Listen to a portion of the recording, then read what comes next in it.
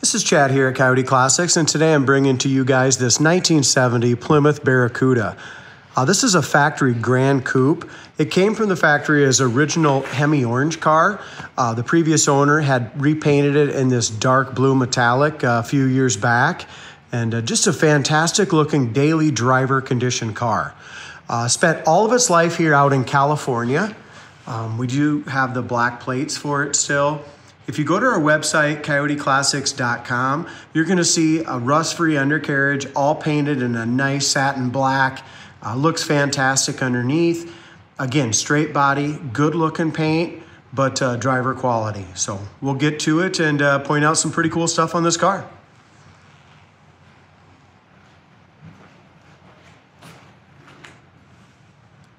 Now, with this being kind of a under 100,000 mile original car, our gaps are in great shape from front to back here on the front edge of the hood, all the way to the back. And back to the front. Hood lays down really nicely across the top of the fenders. Now, I'm gonna talk about like the, the paint. I didn't know this when I bought it. And when I bought it outside, freaking looked gorgeous. But underneath the lights, you can see that it's got uh, I don't know if it's dirt specks or just a little tiny solvent pop um, throughout the top edge of the paint. So that's what makes this just a nice looking cruise night car or driver. It is not a show quality paint job. Besides the paint, this is a very original car. Um, still has a 318 underneath the hood. The grill and stuff is all original still. A couple little cracks here and there, micro crack in here. But all in all, the grill's really in decent shape. Here's your hood release. Hood pops right up like it should. Bottom side of the hood's painted nicely. They also did a nice job on the trunk too, and we'll get to that in a little bit. Um, inner fenders and stuff, you got the factory fenders here. Factory air conditioning, which is awful nice. So it's got air conditioning and power steering, no power brakes. Batteries newer, within a year old, got the correct hold down. It's got the factory fender tag, which shows it as an original orange car.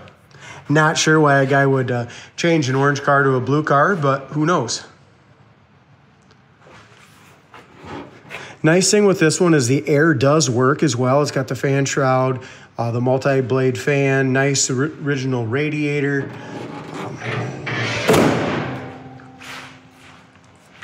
Front bumper appears to be original and that's in good shape, still shines really well. It's got updated headlights in it. I love the choice of Ridler wheels on it. Um, chrome wheels are all polished, beautiful. 245, 45, 18s. Uh, the wheels have been done in the last uh, three to four months. Here's what I'm talking about. Original car. You have a rust-free floors. The back of the hood lines up great to the top of the door. If a guy wants to make a show car out of it, you can definitely, you know, lightly sand it and repaint it, but it's so nice looking just the way it is. Um, it'd be kind of sad to do that as well. Unfortunately, it does have a little ding and a couple little tiny scratches right here on the door. It's got the original mirror with some solvent, uh, some chrome imperfections there. Vinyl top, excellent shape all the way through here around the windshield. Uh, the windshield's beautiful. It's got the light tint there. I'm guessing that's been replaced. Couple cracks around the speaker cover on the original dash pad. Other than that, the dash pad looks nice. Here's the biggest thing, around the back window on a Cuda. Very, very solid all the way throughout.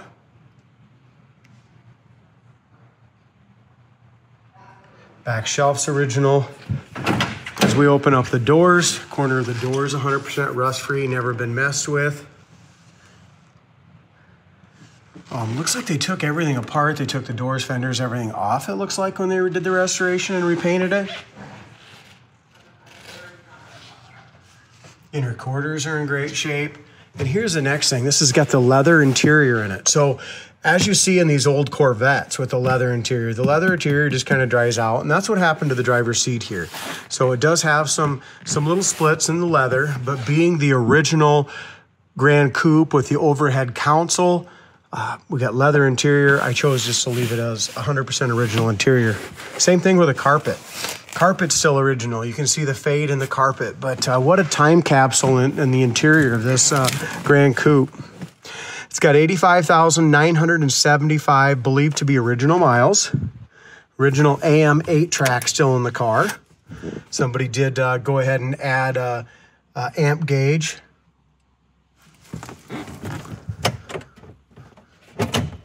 inside the glove box is excellent. Another thing I noticed, uh, inside the trunk lid, that light works, and so did the light under the hood. So pretty, and the console light above uh, works as well.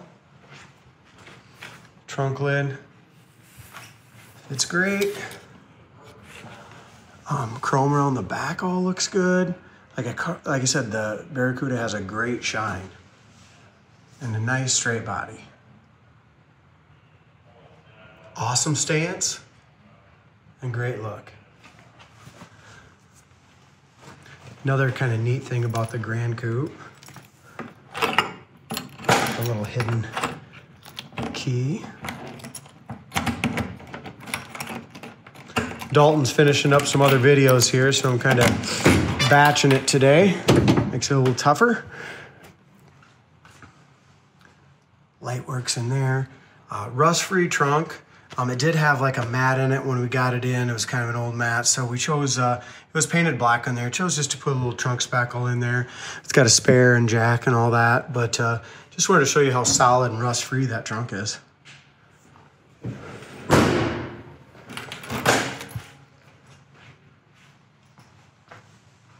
Anywhere you drive this Barracuda, you pull up to any car show, car cruise, people are just gonna flock to it.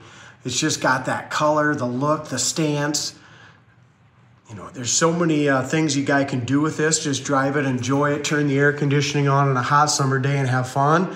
Or you can put a big block in it, spruce it up a little bit, do whatever your uh, heart desires on this one. Again, the back of the hood gap, top of the door, front door gap is great. Bottom of the fender is nice. The door fits so flush to that quarter panel right there.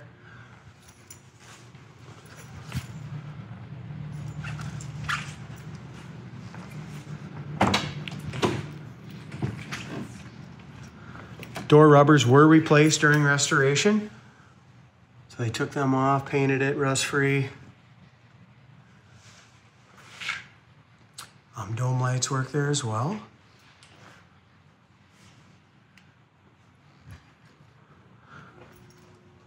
Back seat's in great shape.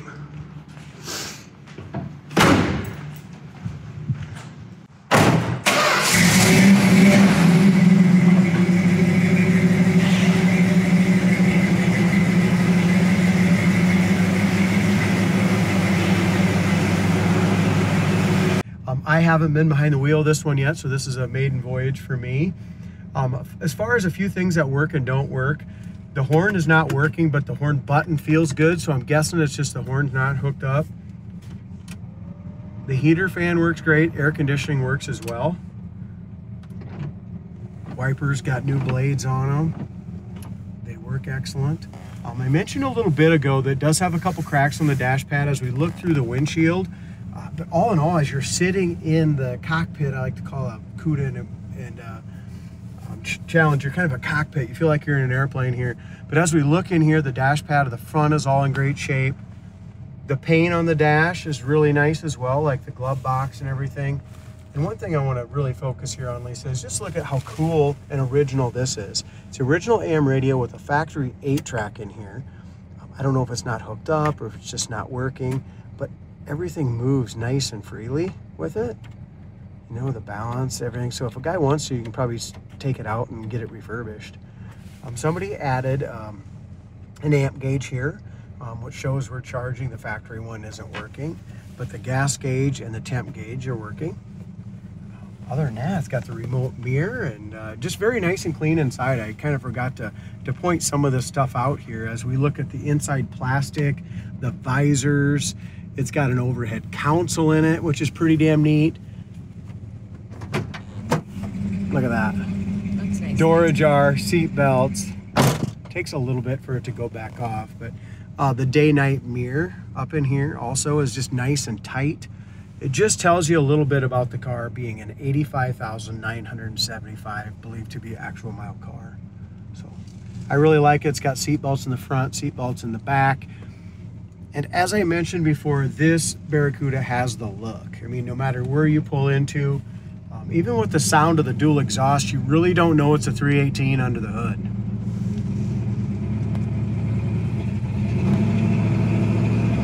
Now with it being a little cold this morning, we're just gonna take it for just a little cruise and see how it goes down the road.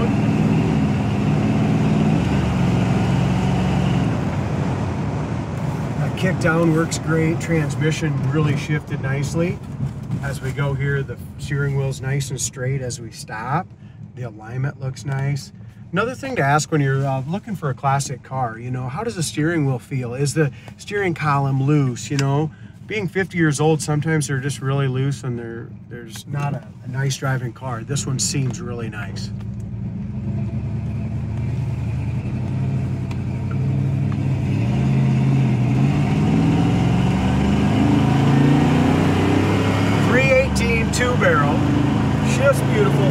Mile an hour pushing 70 75 pushing 80 right down the road. Uh, nice and quiet inside as well. As we're sitting here doing 65 mile an hour the speedometer is perfectly accurate. It's not bouncing around. As we look across the front of that hood the paint looks great out here outside we look across that, the top of the fenders line up perfectly with the top of the hood. Just really impressed how nice and tight this one is. Um, and as me and Dald have talked many, many times before, and I'm sure he would be saying if he was in here right now, the low mileage cars just drive better than a restored car. Um, and that's just a proven fact. So check this one out on our website, coyoteclassics.com. Make sure you check out the undercarriage because you don't find a California pretty much rust-free Cuda like this every day, especially being a 1970. So yes, it has a few little imperfections here and there, but it's a cool original car you can drive and enjoy.